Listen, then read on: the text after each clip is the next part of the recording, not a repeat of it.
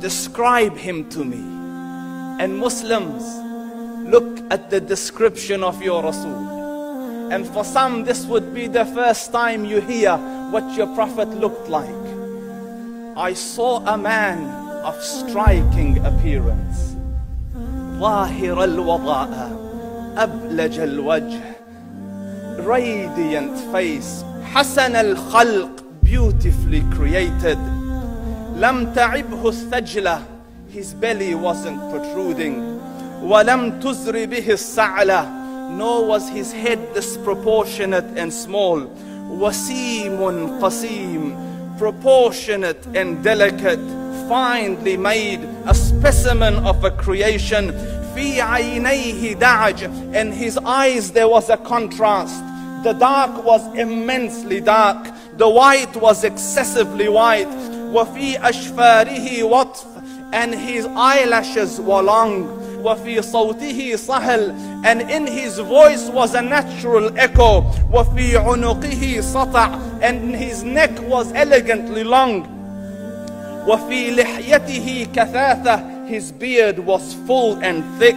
أزج أقرن his eyebrows were arched but they were not joined it was separated in summit فعليه الوقار when he was silent dignity covered him وإن تكلم سماه وعلاه البهاء and when he spoke it was audible and clear almost commanding and overtaking أجمل الناس وأبهاهم من بعيد from afar the most striking and outstanding in appearance وأحسنهم وأجملهم من قريب and when he came near the best of them and the most handsome of them in closeness حلو المنطق so such an exalted and sweet level of logic like when he used to speak it was so coherently logical it was smooth and easy to understand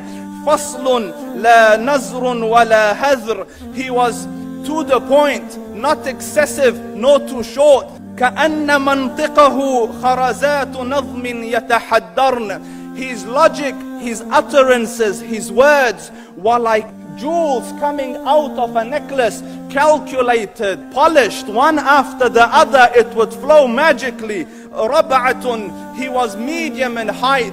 Your eye didn't have to strain to look up at him, nor was it tedious to look down at him. He was a comfortable sight to look at. له رفقاء يحفون به. He had friends, the people that were with him, they were working around him to try to serve and protect him. إن قال سمعوا لقوله when he used to say something they used to hearken to what he used to say وإن أمر تبادروا إلى أمره when he commanded they used to compete to fulfill the command this is Muhammad Rasulullah this is Muhammad Rasulullah Anas ibn Malik says he says, I came out one night, ah, I came out one night, it was the full moon night.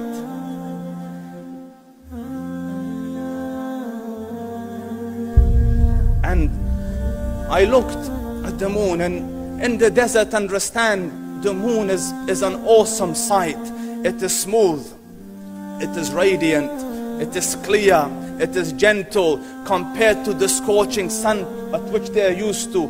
So the moon was the epitome of beauty. So he says, I came out at a full moon night and I looked at the, at the moon and I saw it beautiful, handsome. So I said, let me go see if the moon is more handsome or my prophet is more handsome. Let me see if that is more beautiful or the prophet is more beautiful. So I went and I saw him standing afar.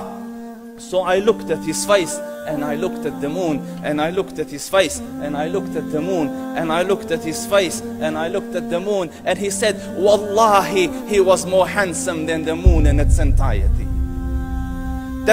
that is just the look of your Rasul Aisha radiallahu anha says, I was sewing with the needle. My needle dropped in the dark. I couldn't find it. I said, Ya Rasul, I can't find it. He moved his face close and I swear, out of the radiance of his face, I found my needle.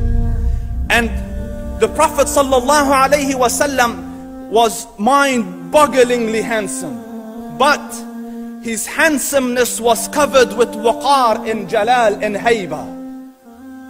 The Sahaba say when we used to sit at, at his feet, two feelings conflicting would come on the heart. The first one, you wanted to look at him. You wanted to behold the majesty of his face.